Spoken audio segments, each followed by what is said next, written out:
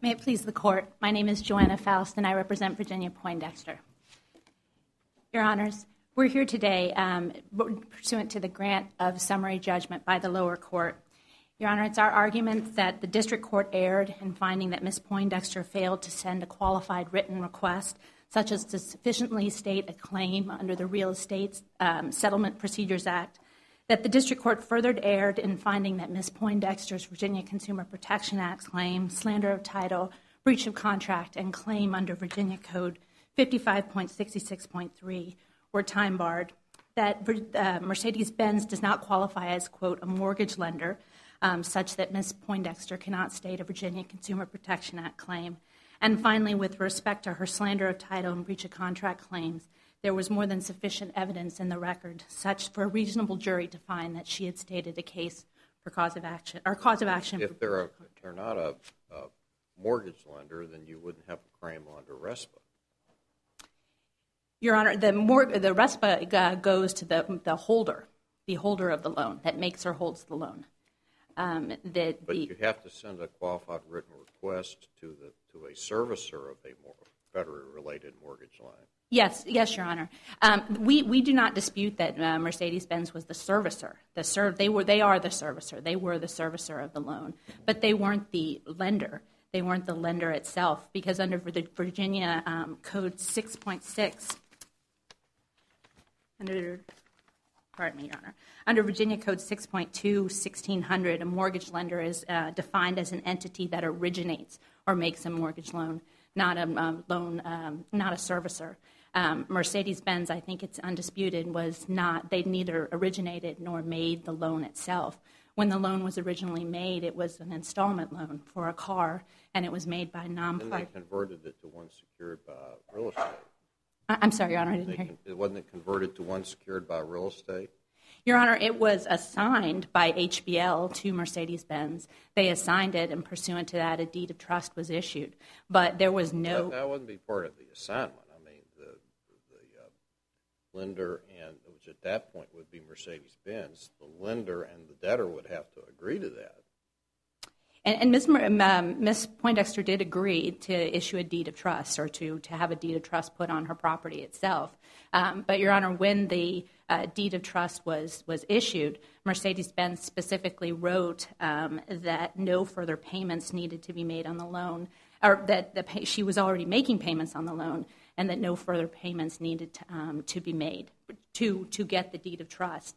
Uh, Mercedes-Benz got something very valuable to them. They were able to make sure if a um, if a uh, purchaser of this luxury car ever were to default, they would have a lien on that person's house. But there wasn't any additional uh, monetary consideration. The loan itself was assigned, and she executed the deed of trust. They became the servicer of the loan. I think that that's that's clear in the record and uh, undisputed. But uh, under the... Well, this seems kind of odd that you'd have the servicer of a loan who's now the holder of a mortgage. Yes, sir. Um, but for the Virginia Consumer Protection Act, it uh, defines a mortgage lender under 6.2-1600 as an entity that originates or makes the mortgage loan. The loan that was made was an installment loan by HBL. They didn't originate it, Mercedes-Benz. Neither originated it, nor they made it. They were assigned it, and they took over the servicing of it. But they aren't a defined mortgage lender under the Virginia statute. So who's the service of the loan? Mercedes-Benz, Your Honor. And not TD Auto Financing?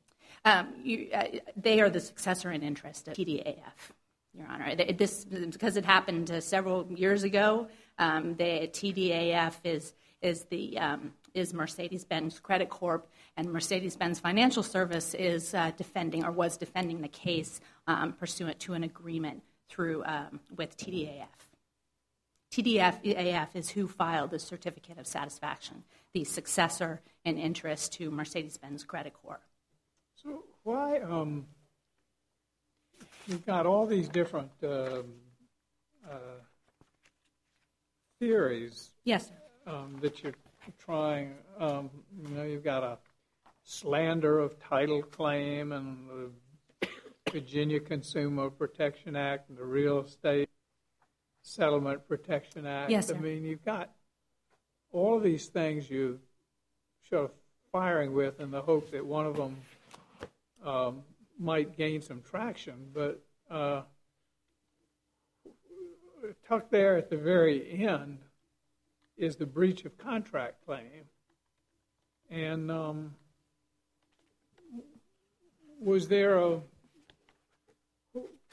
I'm surprised you didn't make more of it. Um, why wasn't why wasn't what what's the problem with a straightforward breach of contract claim? There is no problem with it, Your Honor, and, and we believe that that is a claim that should have survived. Because these different statutes, I have questions about whether they're really fit or apply to your situation. It, and, and, I understand that, Your Honor. Part of the reason is that the, um, the different statutes provide a remedy for different types of damages, including that of attorney's fees. It, should be noted that it took filing a federal suit for Mercedes Benz International Corporation to file a certificate of satisfaction. Because of that, Ms. Poindexter lost the loan that she wanted to have to refinance. Now, she did eventually, seven months later, well into this suit, um, find a new loan that was that was uh, comparable. But because of that, she lost um, uh, monthly mortgage payments. I don't know whether she lost the chance to refinance because of the failure to remove the the lien, or whether she didn't. But but that would be a question of damages, wouldn't it? That was a question. It wouldn't be a question of liability. No, no, Your Honor. I'm sorry. I didn't mean to give that impression. That is a question of damages. But the damages that she that she suffered um, weren't just the the new loan that she eventually got, um, which was not the loan that she was originally, uh, and, and that was a disputed fact. She was denied that loan because of the cloud that was on her title. Um, but because of that, she. Well, your point is they were under a duty to remove the lien once the debt was, was once, either satisfied or yes, Your Honor. Once the debt, once once she she never missed a payment, and once and she made her last. Is that the failure to remove the lien once the debt was no longer in existence um, was a breach? Yes, sir. It was a breach. Yes. Um, she issued, she, uh, she allowed a deed of trust to be put on her property um, in the hope that, or in the return for which she now, what about the statute of limitations argument um, with respect to the contract claim? Now, Your Honor, I would argue that with respect to that, that every day that Mercedes-Benz Credit Corporation continued to fail to um, release the deed of trust from the property, and it wasn't released until November of 2013. Not only was that being published, but we wouldn't we wouldn't need a continuing breach theory here, would we? Because um, I think it was in in in May of 2013. Yes. You you actually notified them. I notified. Uh, uh, Ms. Poindexter notified her husband, the title company, and her counsel all notified them. Yes. All right. And was MBCC notified that they had to remove the lien. Yes, Your Honor, they were. You're saying that's not disputed?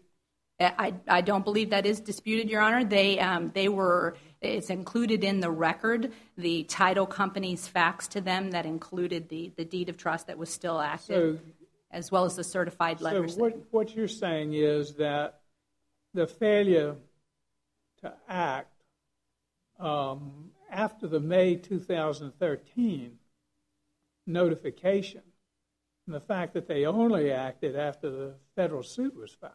Yes, Your Honor, after it was um, filed. That the, failure to act in a, time, a failure to respond in a timely notice that they had obligations under the servicing contract. Under this contract, they were the loan servicer, yes, Your Honor. Yeah. Or their successor in interest was the loan servicer. Right. To remove the lien. You think that's an additional breach? I do, Your Honor. Yes, we do, Your Honor. How is uh, that different from the breach as of the time that the debt was paid? Uh, Your Honor, there's only one contract here. There is only one real estate settlement, uh, real estate, a retail installment contract. Um, this that was for the purchase of the automobile. Um, several months later, after it had been signed, was when the deed of trust was put on um, on the property. So, when your client paid it off, why wouldn't the statute of limitations start to run from that date? Because, Your Honor, they they continued to fail to uh, to release it up until and through 2013. Um, we made that different from any other breach of a contract. Um, Your Honor, I would argue because it, it, they had a continuing duty as the servicer, whether the loan was paid off or not. Um, under the real estate settlement, under RESPA, as well as under this breach of contract, they remained the loan servicer. There was no other way to get anyone to remove, only the holder can remove the deed of trust. But the question on a breach of contract is when it starts to run, and if you're looking at it from the standpoint of when a party to the contract would have known, there's no allegation here of hiding the ball or some sort of a fraudulent activity. This is a public record. Not fraudulent, Your Honor, uh, but there was a second car that was purchased in 2004 when this car was, was paid off.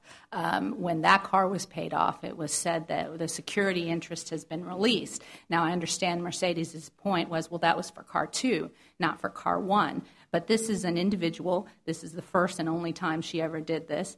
Um, we made an argument um, pursuant to the equitably equitable estoppel. I don't. I'm not arguing that it was fraud or that there was any lie there. But when an individual is told, we have no further interest in your vehicle, um, we have no, well, not in the vehicle, but an interest in her home, an interest that created a continuing cloud on her title that prevented the refinance of the property in 2000, all the way up until 2013 when she, when is when she realized. But what I mean, what during that period of ten years or so, what was the barrier for your client to determine that there was a breach? It, there was no barrier, Your Honor. This is a public record in the Circuit Court of Loudoun County. But it, respectfully, it, it's not her duty. This isn't like a closing, a real estate closing where everyone sits in a room and signs papers. This was a one off for her, but supposedly something that had been done many, many times for Mercedes Benz, although they did testify they had no policies and procedures to release these liens. She, I think her diligence has shown the moment she was informed by her title company in 2013, she and her husband sprang into action. Um, why would there be? I think the question for the jury was whether. Your best case under Virginia law the statute of limitations would not have started to run as of the time she paid off the loan.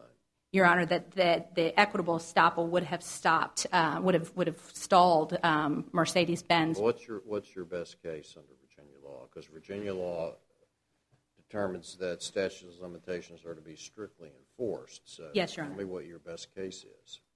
Uh, best best case scenario or best case that I'm relying on? Best case from the Supreme Court of Virginia that would support your position. Um, your Honor, the the best case would be that um, again, that uh, the Lataif versus commercial industrial um, construction case, the 1982 Virginia Supreme Court case, again, to show, to establish equitable estoppel, absent a showing of fraud or deception, a representation, reliance, a change of position, and a detriment. Your Honor, um, to the extent that the statute of limitations would have applied, um, it was a question for the jury to show whether she reasonably relied on the, the fact that um, reasonably relied on the fact that um, she, it was her duty to go down and check the land records. Was this an argument you made below on equitable estoppel? Yes, it is, Your Honor. All right, thank you. Thank you, Your Honor. I'm for the rebuttal time. Thank you. Mr. Mastro. Good morning, Your Honors. May it please the Court, Frank Mastro on behalf of the appellee Mercedes-Benz uh, Credit Corporation. Your Honor, let me address first uh, a point which was made uh, by my opponent regarding the breach in the, the 2008 letter. That was, we have to keep in mind two things. One is that that letter coming in 2008, that's four years after the loan was paid off. So to the extent uh, Ms. Poindexter is claiming any reliance, I mean, that's got to occur within the limitations period. Otherwise, you couldn't, can't reasonably rely on something that occurs after limitations to bring it back into limitations. And then, as counsel pointed out, it does concern a different vehicle. A 2008 letter concerns a 2003, I think it is, Mercedes. The subject vehicle is a 2000 Audi, different VIN numbers, different account numbers. and it just deal, dealt with the release of a motor vehicle lien on that vehicle. So uh, there's no way there can be any reasonable reliance uh, by Did Ms. you tell them Poindexter. at any point that, that Poindexter's at any point that you'd released the lien? No, no, we never told Poindexter that the lien had been released. I think this is a case where both sides honestly forgot.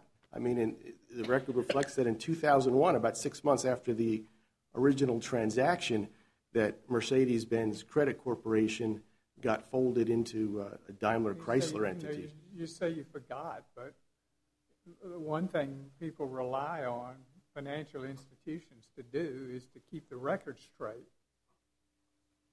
Well, that's And I think, wasn't it reasonable for her to assume that you'd released the lien once it no longer applied? was it reasonable for her to assume? But she's got to do some due diligence. I mean, just to assume that the lien had been released.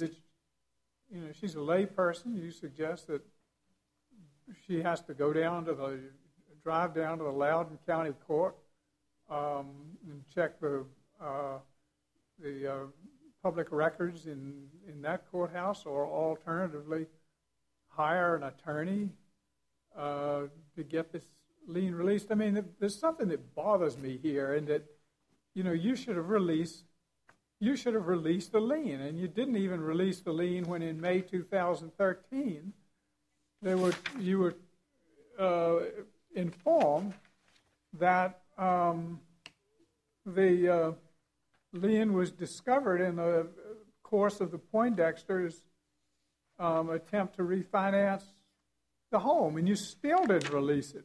You know, from May 2013 to September 2013, the lien remained on the books after I understand you'd been informed of it. I mean, people rely on financial institutions. That's your job. That's your business to keep people's records straight and not to saddle them with liens after there's no reason for the lien because the, the, the vehicle has been sold or they've got another car. The whole subject of the lien was not in the Poindexter's possession.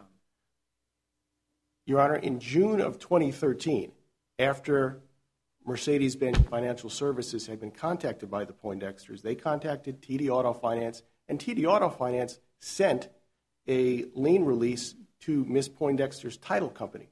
For some reason, her title company never filed that.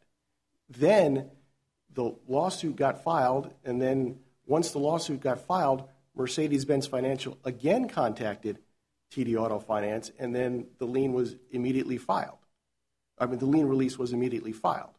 So um, I, want to correct that for the record. I don't know if that came up in the summary judgment pleading because I don't know that it was relevant to the decision below, but it's certainly in the deposition transcripts that are uh, attached uh, in But the if you record were the. Poindexters, wouldn't you be pretty angry about what happened here? That a lien was kept on the books, and who knows how damaging it can be to someone's credit?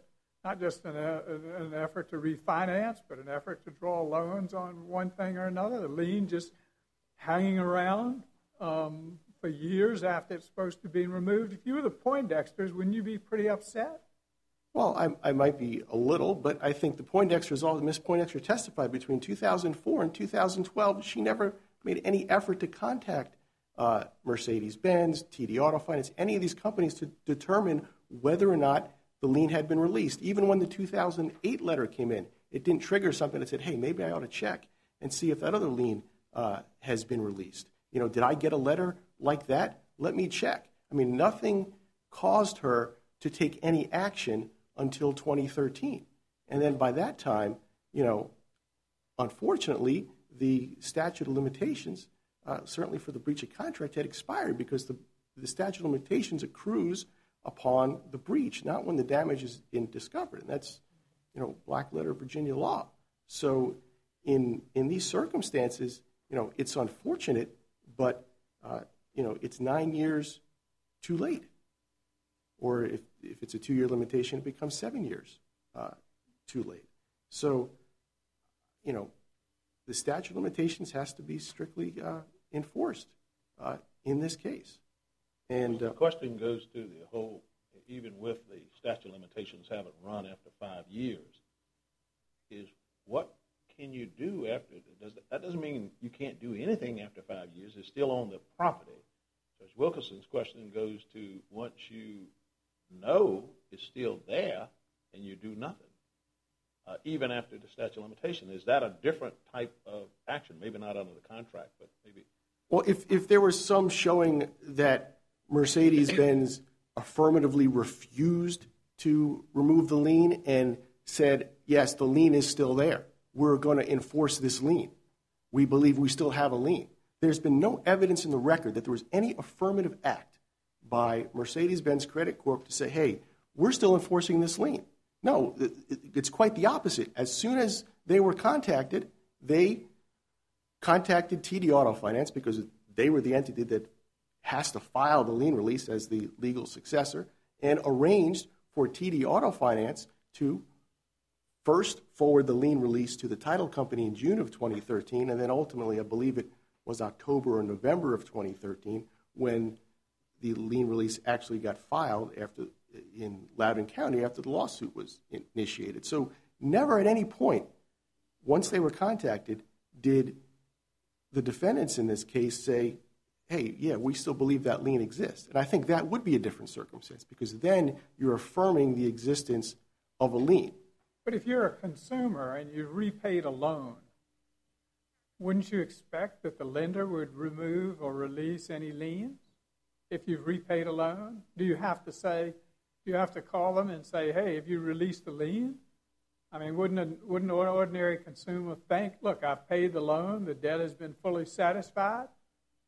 Well, I think it's like any other contractual situation where you, if another party has a duty under a contract and that party doesn't. The duty would be on you to release the lien, wouldn't it?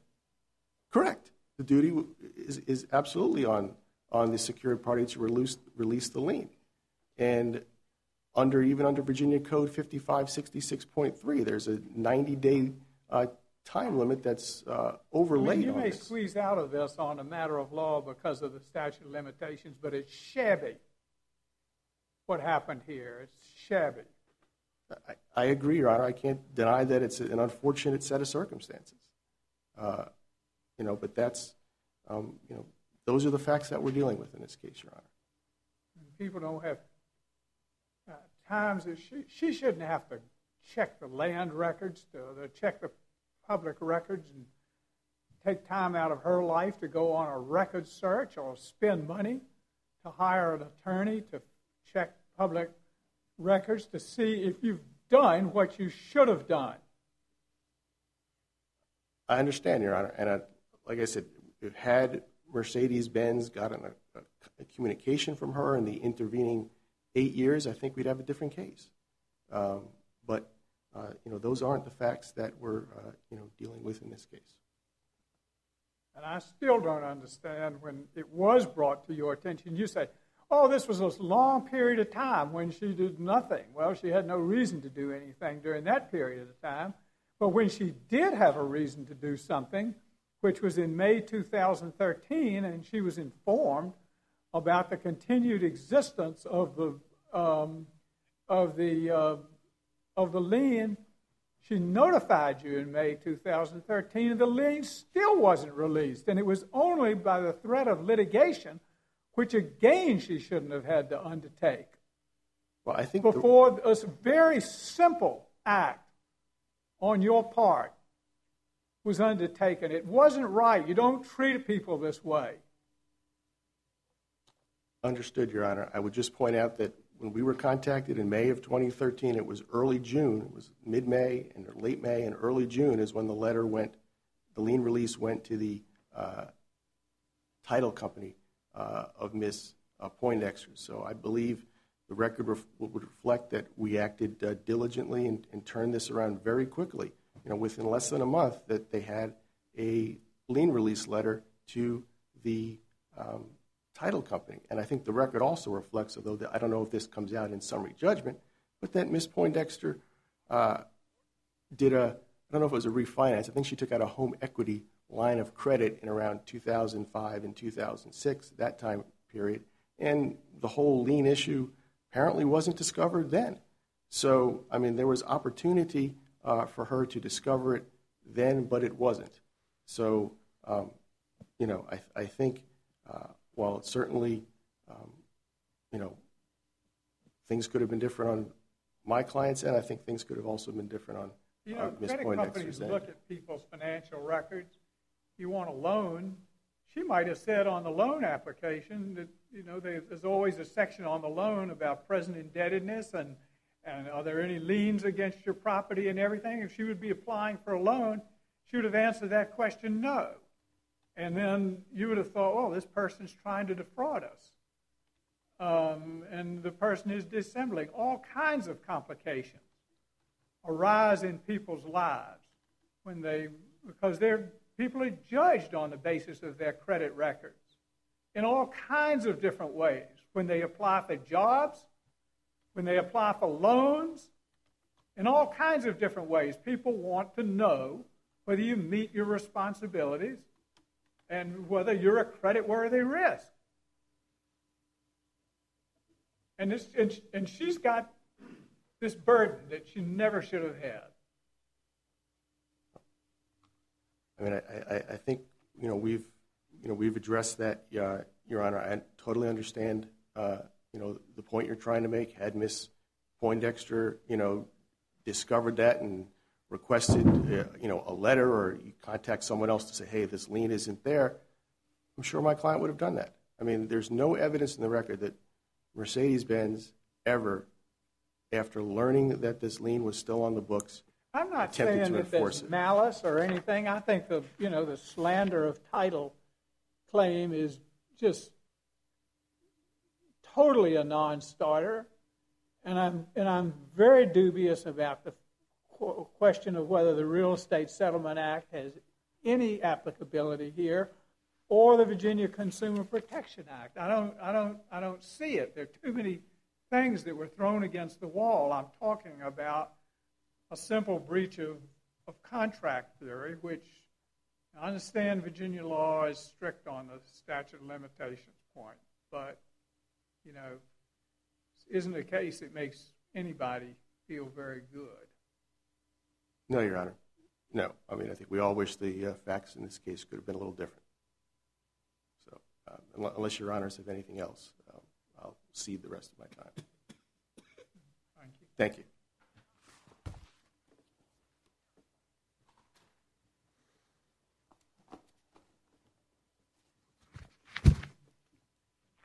Your Honor, if I may, I understand your point about the slander of title, but I think that the discussion just showed um, what a definition of malice that the Virginia Supreme Court has approved in these cases. Malice doesn't have to be a sinister or corrupt motive. It can be a gross indifference or recklessness. Well, on the basis of this record, the most I see is negligence. I don't, I don't see the, I don't see the kind of malice here. That, that, that goes too far. And I, you know, slander of title, I haven't seen very many of those succeed.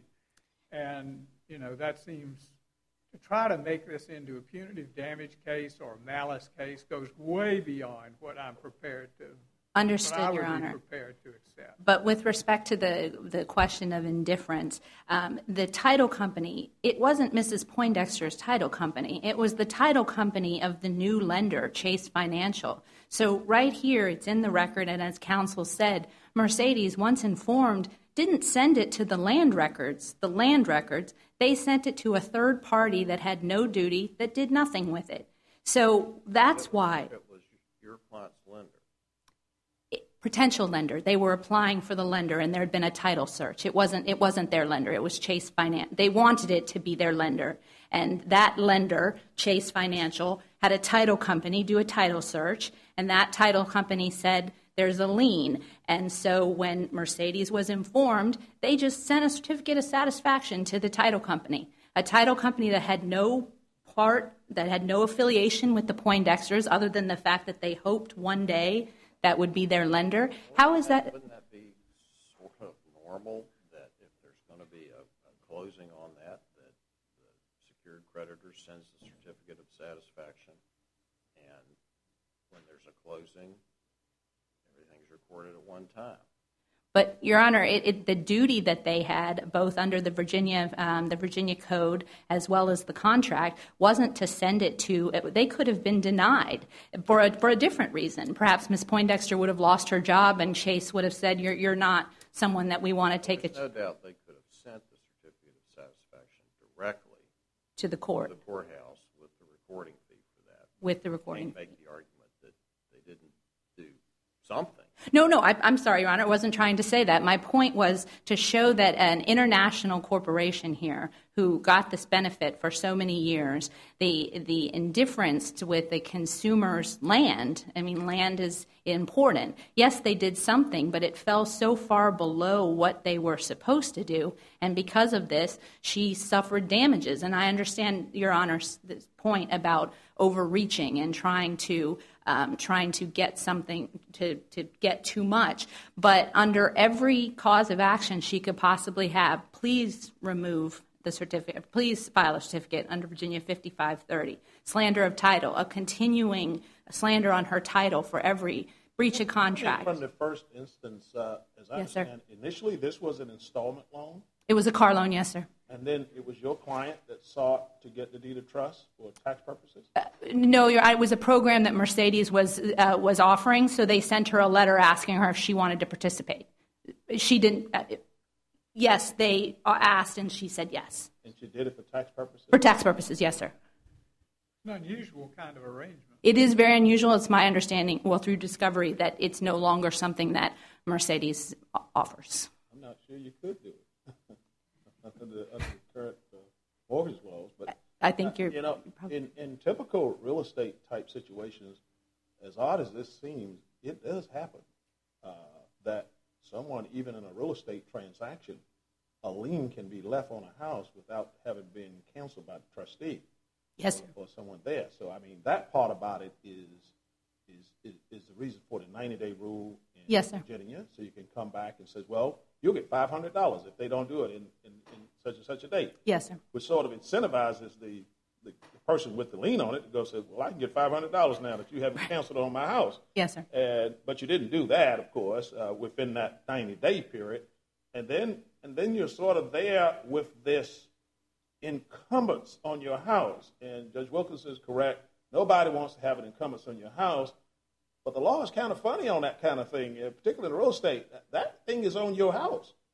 And even though you don't have a duty to go and check it out, if someone has something on your house, you ought to want to know it's not up there anymore before, you know, a series of nine years pass. I mean, you would think. Understood, Your Honor. But the moment that it was There still is a consumer beware type law that, goes on, and I'm not so sure it, it tracks in the. That's the, reason for the statute of limitations. You have five years. That, that's where you get the whole time period in there under this contract to, to deal. But if you do nothing for nine years, What should she have done, Your Honor? Go to the land records? I mean, would people? Is it the duty of consumers it's on to? her house. She's living there. She, she, she should probably check to see if there's anything on her house. Yes, sir. But the, I made a mortgage loan. I didn't then run to Fairfax County to make sure it wasn't still on my home, that my refinance or my equity. I mean, the, that's on the, the lender. That's on the, and that's why the statute says when you. You got a title insurer up there that's going to make sure that someone takes it off. You don't have it in this type of situation. That, that's true, Your Honor. There, that, that's that's a good point. There, there wasn't the anything. unusual nature of what's It going is- on it's very unusual. problem, and ultimately what happens is when you get to the end of the day on this whole thing that's going on, is off the house. It is now. She has a loan. She's paying about eight more dollars a month. We keep saying the eight dollars, Your Honor. She paid um, for thirteen months. She paid the higher rate. She paid um, title closing. She paid inspection. The eight dollars. I think it's very a sexy figure. Oh, it's only eight dollars. Why are you here in federal court? Why did you come to the court of appeals? It's more than eight dollars. But summary judgment was on liability and not on damages. But she suffered much more and has than eight dollars d- damage wise. I'm sorry, I didn't mean to interrupt. No. Um, All of which she doesn't get if the statute of limitations is run. Uh, True, Your Honor. Um, But it goes back to the initial point that Judge Agee is making here under Virginia I do. law. That's pretty hard stuff against you. I mean, equity is aside in terms of how bad it is.